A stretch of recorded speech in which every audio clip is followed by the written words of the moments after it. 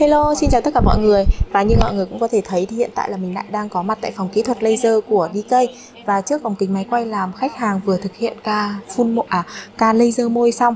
Và hiện tại thì chuyên gia cũng đang tư vấn cũng như dặn dò khách hàng sau khi thực hiện laser môi thì sẽ phải uh, dặn dò cho khách hàng là kiêng khem như thế nào này và chăm sóc môi ra sao.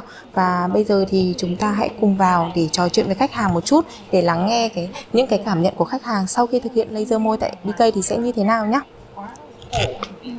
à, hiện tại thì vâng chị Hà cũng đang chia sẻ với chuyên gia. Thì em chào chị Hà và chào chị Giang ạ. À, mình vừa thực hiện ca laser môi tại DK đúng không chị? Vâng thì em có thể xin phép là hỏi một chút cái cảm nhận của chị sau khi thực hiện laser môi tại DK được không ạ? Chị thì chị cũng rất là sợ đau ấy. Mấy năm rồi không dám làm tại vì lần trước làm ở chỗ khác cũng rất là đắt tiền chỗ cũng xịn lắm đấy. Nhưng mà cũng ừ, uy tín đấy nhưng mà tại vì xong rồi chị bị mụn nước ấy, thế là chị sợ. Mà lúc đấy người ta đến làm lại thì chị sợ không dám làm nữa.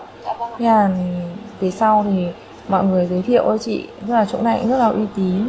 Thế là bảo là bạn bè chị cũng bảo là làm ở đây tốt. Thế là lấy hết sức bình sinh để đến đấy. Nhưng mà chị thấy là cũng đau nhưng mà đau một tí thế là chịu được. Nhưng mà rất là rát đấy nhưng mà vẫn chịu được. Có nghĩa là nó có cái sự tương tác vào môi mình và mình cảm nhận được nhưng mà vẫn theo cái sức chịu đựng của mình đúng không chị? Ừ. và như chị Hà có chia sẻ thì em xin phép cho các bạn đang theo dõi livestream này hôm nay ừ. xem lại cái tình trạng môi ban đầu của chị một chút nhé à, à. Dạ, vâng ạ. Và đây là tình trạng môi ban đầu của chị Hà khi đến với DK thì ống kính có thể lia qua giúp mình nhé thì như các bạn có thể thấy là khi chị Hà đến với DK thì tình trạng môi của chị là bị thâm viền và mực thì bết và xỉn đi rất là nhiều, khiến cho đôi môi của chị không được tự nhiên và làm cho khuôn mặt của chị cũng già hơn, có nghĩa là không không được nhẹ nhàng nữa. Và kết quả thì ống kính có thể zoom ra một chút nhé để mình có thể so sánh rõ hơn. Và đây là kết quả sau khi chị vừa thực hiện laser một lần duy nhất tại DK chúng ta có thể nhìn thấy sự khác biệt rõ rệt, đúng không ạ? Là môi của chị thì trở nên trong trẻo hơn rất là nhiều.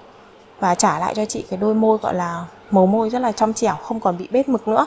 Và cái phần bết mực thì được xử lý đi hoàn toàn mà ngay sau khi thực hiện laser môi xong thì không hề có dấu hiệu của việc sưng nề hay là tổn thương môi nhé và như chị Hà cũng đã chia sẻ đấy là khi mà thực hiện laser môi xong thì cũng chỉ là hơi rát rát một chút thôi và chúng ta hoàn toàn chịu đựng được. Và để đau một hai phút đúng không ạ? Và chúng ta có một cái đôi môi tự nhiên hơn thì hoàn toàn là xứng đáng đúng không ạ?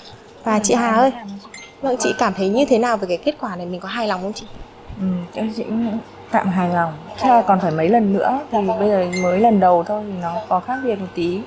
Chắc là hai, ba lần nữa chị nghĩ sẽ đẹp hơn. Hy vọng là chị sẽ hài lòng. Ừ thì em cảm ơn những chia sẻ của chị ừ. bởi vì chị là một người gọi là sau lần trước thì mình cũng là sợ đau hơn rất là ừ, nhiều rất là sợ hãi ấy. vâng ạ. vì chị thẩm mỹ gì cũng hỏng à, sợ lắm vâng nhưng mà hôm nay chị đã tin tưởng đi cây thì chắc chắn đi cây sẽ không làm chị Hà ừ. thất vọng đâu ừ, hy vọng là thế dạ vâng ừ. thì chị Hà hãy kiên trì mình thực hiện laser thêm một hai lần nữa để cho đôi môi của mình nó trở về trạng thái nguyên bản ban đầu nhất chị nhé ừ.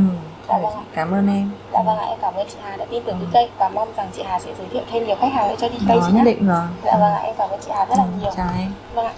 Và như các bạn đã nghe những chia sẻ rất là chân thật từ khách hàng Vậy thì mọi người nếu mà đang có bất kể những vấn đề gì về mày môi mí mà chưa hài lòng Thì hãy inbox lên cho fanpage của DK để được tư vấn tốt nhất từ chuyên gia nhé Và mình xin kết thúc livestream này tại đây Cảm ơn mọi người đã theo dõi Xin chào và hẹn gặp lại